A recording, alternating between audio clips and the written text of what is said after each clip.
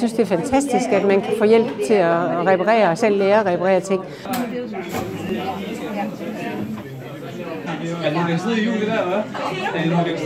Jeg hjælper til hernede, fordi jeg synes, det er sjovt.